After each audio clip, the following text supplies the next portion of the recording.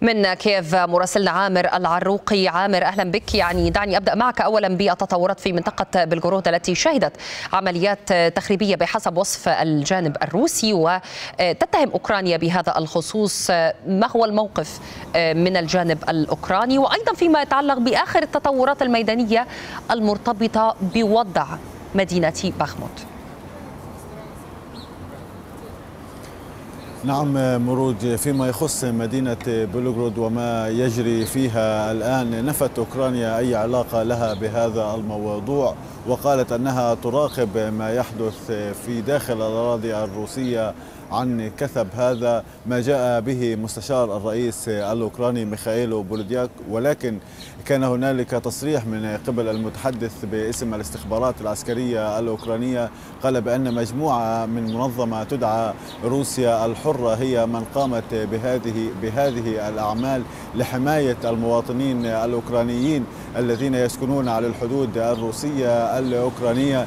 كذلك أيضا قبل قليل شهدنا كثافة بالنيران وفقا لما تعلنه الإدارة المحلية والعسكرية لمدينة سومي وتحديدا لمدينة أختار هذه المدينة تقع متاخمة على الحدود الأوكرانية الروسية ذكرت الإدارة المحلية والعسكرية لهذه المدينة بأن الجيش الروسي كثف من هجماته الصاروخية خلال الساعات القليلة الماضية ضرباته على هذه المدينة. لكن إلى حد هذه اللحظة لا يوجد تفاصيل كافية عن ما يدور داخل مدينة بلوغرود وعن ما يدور في الحدود المتاخمة للحدود الروسية الأوكرانية. أما بالنسبة إلى ما أما بالنسبة إلى مدينة باخمود قبل قليل أعلن المتحدث باسم عمليات الشرق سيرجي شايفاتي بأن الجيش الأوكراني خلال النهار حقق تقدما بمقدار 200 إلى 400 متر داخل هذه المدينة أو داخل النقطة التي تسيطر عليها القوات الأوكرانية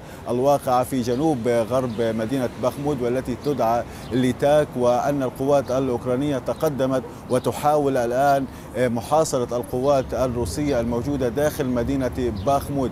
كذلك أيضا وفقا لبيان هيئة الأركان العامة للقوات الأوكرانية قالت أنه وخلال خلال هذا النهار تصدت لما يقارب من 25 هجوما شنه الجيش الروسي على هذا المحور. كذلك أيضا ذكر البيان بأن كثافة من النيران سقطت على مدينة ليمان. وهنا نلاحظ بأن الجيش الروسي وفقا لبيانات الجيش الأوكراني يكثف ضرباته الصاروخية على منطقة ليمان وهي منطقة متاخمة لمدينة باخموت. كذلك أيضا بالنسبة للمناطق الواقعة شمال مقاطعة دونيتسك نعم. وهنا نتحدث عن منطقة سلافيانسك وكراماتورسك. على ما يبدو بأن الجيش الأوكراني ينفي انسحابه أو ينفي التمسك أو ينفي استيلاء قوات فاغنر على مدينة بخمود وأنه ما زال يحرز تقدما في هذه المنطقة مروج شكرا جزيلا لك على المتابعة من كيف مراسلنا عامر العروقي.